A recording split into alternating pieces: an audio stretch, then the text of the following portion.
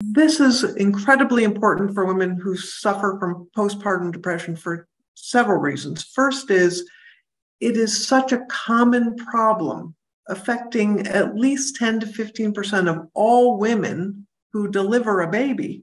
Uh, yet it is um, so understudied and underrecognized. So, having a drug that is specifically approved for postpartum depression, having an indication for that condition, will hopefully um, give a lot more airtime so that women themselves recognize that this is a real condition and treatable. This new medicine is specifically about the hormones or the steroids that occur during pregnancy that change. And so it is specific to those exact changes, which is why it is different than the typical antidepressants that we use that are for general depression that we hope will also help women who have postpartum depression. But this works on the um, hormones and steroids that actually affect that are affected during pregnancy. Zurzuvae is an oral medicine that you only need to take for two weeks.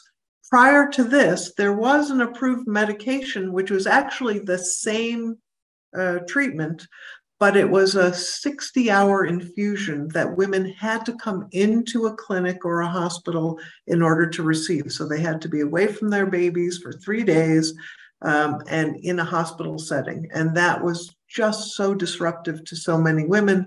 Um, it was hard to get. Um, many clinics didn't have it.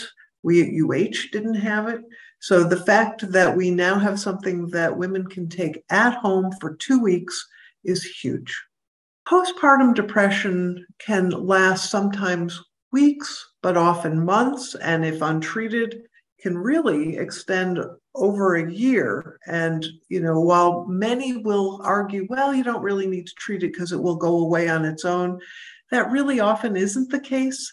And if it does, it has lasted way too long for the quality of life of the woman and also for the consequences to a baby who has an untreated mother with postpartum depression.